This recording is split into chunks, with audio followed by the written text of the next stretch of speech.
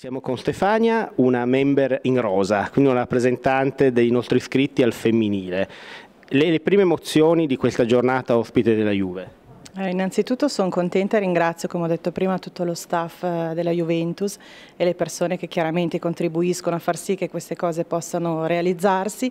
Sono felice, io ho realizzato il mio sogno, ho potuto incontrare eh, persone comunque carine, oltre che vabbè, a qualche personaggio, qualche calciatore così, e sono contenta e spero proprio che insomma, finisca bene questa grande emozione e questo sogno. Con Juventus Member si sono aperti per gli iscritti anche gli spogliatoi, che erano un po' un luogo segreto e inaccessibile. E che idea avevi prima di vederli e che idea è stata, che sensazioni hai provato poterli visitare? Allora, innanzitutto sono stata contenta, non me li aspettavo, praticamente insomma, è stata un'emozione, quindi eh, vedere le maglie appese, insomma, tutto il loro abbigliamento è stato veramente eh, emozionante. Insomma. Oggi una giornata anche molto particolare perché eh, le 50 stelle bianconere, quelle a cui dedicata, sarà dedicata la pavimentazione esterna del nuovo stadio, hanno ricevuto, sono stati premiati eh, da chi ha comprato la stella accanto a loro. Che emozione è stata rivedere anche campioni del passato che ormai non calcano più i campi però sono rimasti nei nostri cuori di tifosi. Sono stata contenta, infatti prima di attraversare il tunnel abbiamo appunto potuto vedere, oltre a incontrare Nedved, anche Boniperti e per me è stata un'emozione comunque rivederli dopo tanti anni insomma.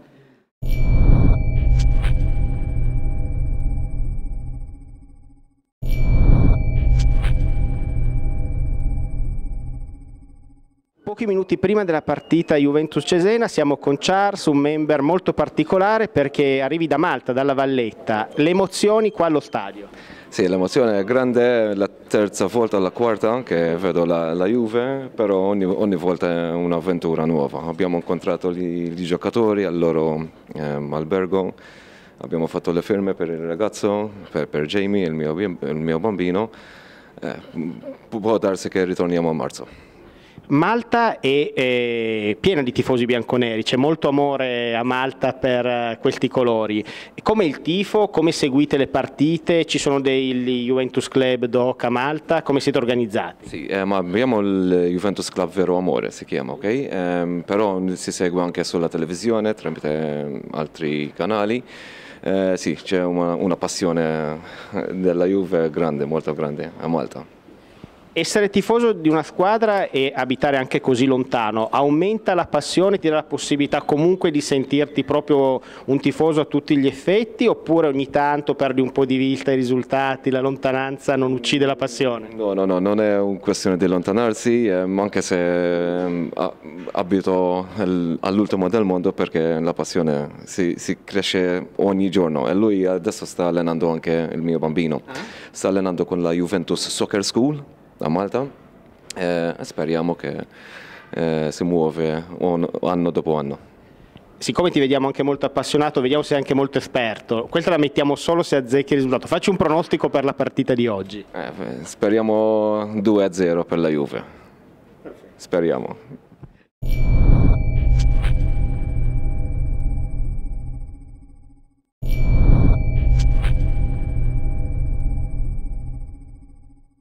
Pochi minuti da Juventus Cesena siamo con Maurizio, uno dei nostri member, ospite di Un giorno con la Juve. Le emozioni di questa giornata?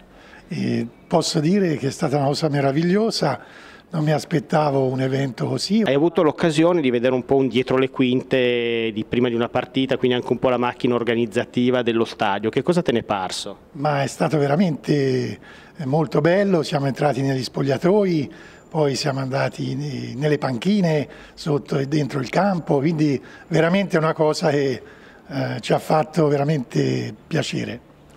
L'organizzazione è perfetta, speriamo di vedere ora una bella partita.